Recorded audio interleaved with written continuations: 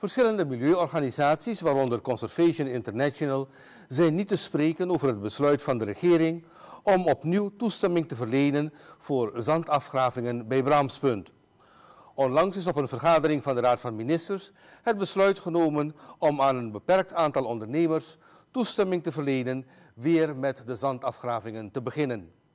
Zij hebben toestemming om voorlopig zes maanden zand af te graven met een optie voor een verlenging van eenzelfde periode. De directeur van CA John Goedschalk dat de regering ervoor heeft gekozen om deze activiteit weer op te pakken. Volgens hem zijn er namelijk studies geweest waaruit juist duidelijk blijkt dat Bramspunt een belangrijke beschermende functie heeft voor Paramaribo. Een functie die wij hard nodig hebben als uh, bewoners van deze mooie stad. Dus wanneer mensen vaak praten over Braamspunt en afgravingen, dan het eerste wat men zegt is de schildpadden en uh, de, nesten. En dat is natuurlijk bijzonder belangrijk, want we zijn niet de enige bewoners van dit aardbol. Maar het, het is daadwerkelijk een, ik vind het zelfs een, bijna een onvergevelijk uh, activiteit om te zeggen, weet je wat, we gaan daar nu graven, een paar mensen gaan daaraan verdienen en de rest van Paramaribo die zoekt het maar uit. Want dat is wel echt waar je het over hebt wanneer je zo'n keuze maakt om bij Braamspunt, die een integraal deel is van onze kust, en dus ook het hele uh, systeem dat ons beschermt en moet beschermen uh, tegen de impacts van klimaatverandering, om dat te gaan verzwakken, nou, ik, ik, niet dat we die keuze maken. En ik, ik, denk wel dat het belangrijk is dat we er echt even goed bij stilstaan wat het betekent. Als u hier kijkt, dit is u heel klein, maar dit is een groot beeld. Hier is het Braamspunt, maar hier is het een beetje vergroot. En um, er is een kruisje daarop gelegd. Uh, dat geeft aan dat daar waarschijnlijk gegraven wordt nu, of zal worden gegraven. Als je goed kijkt, uh, dit is aan de noorderkant, hier is uh, de rechteroever, Kommerwijnen, de linkeroever aan deze kant. En hier ziet het heel mooi uit. Dit bolt naar boven, zoals u hier ziet. En hier van deze kant uit, van noordoost-passaat, komt de wind binnen. En daarmee wordt de golven gegenereerd. Wanneer de golven hier aankomen, dan gaan ze draaien, een bocht maken naar deze kant toe.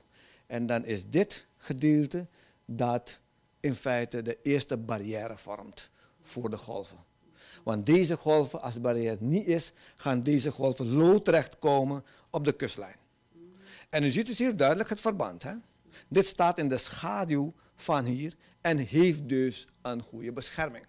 Dit staat niet in de schaduw. En bovendien heb je hier de menselijke activiteiten gehad. Met als gevolg dat de resilience, dus de veerkracht van de mangroven, minder is dan hiervan. En dus je een grote gat krijgt. En het gat blijft gehandhaafd.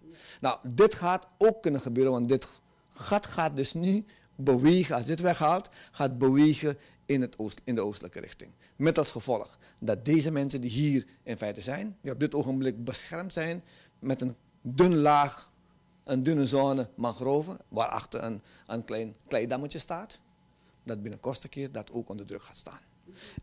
Professor Seunat Naipal, hoogleraar klimaatverandering en water aan de Anton de Kom Universiteit van Suriname. Volgens hem zal er straks geroepen worden dat het de zee is en klimaatverandering, terwijl het in deze slechts om menselijk handelen gaat. Hij benadrukt dat er van de regeringszijde nog twijfels bestaan over de effecten van zandafgravingen. Dit blijkt uit het feit dat de afgravingen een jaar terug waren stopgezet en nu weer worden opgepakt. Zijn advies is dus, als je twijfels hebt, liever niets doen. Goedschalk wijst erop dat wij als mens bepaalde natuurlijke systemen nodig hebben. En wat wij nu aan het doen zijn, is deel van dat kritisch natuurlijk kapitaal dat wij nodig hebben voor ons welzijn kapot te maken. En hoe dat precies gaat um, uitpakken, dat weten we niet. Maar juist wanneer je niet precies weet, precies wat de professor zegt, laat dat ding met rust. Wat we wel weten is dat uh, Paramaribo uh, meer uh, risico gaat lopen, omdat de slagkracht van die golven niet afgeremd gaat worden. En we weten dat dat al een probleem is. Het werk dat we nu bij Weg naar Zee aan het doen zijn, ook met professor Naipal, is ook vanwege menselijk ingrijpen. Dat we dat nu moeten gaan doen daar. Kost heel veel geld. We moeten uh, natuurlijk de langdurigheid ervan ook nog uh, zien of we het op de juiste manier allemaal kunnen behappen. Omdat we systemen daar kapot hebben gemaakt. Dus wat doen we nu? Weer andere systemen kapot maken. Vandaag doen nogmaals, in een tijdschaal wat we nu kennen, kan over generaties impact hebben. Wij praten over duurzame ontwikkeling, dus we kijken in de generatie in de toekomst. Zowel professor Naipal als CI-directeur Goedschalk stellen voor dat er een dialoog op gang wordt gebracht waarbij de studie en deze afgravingen goed worden doorsproken.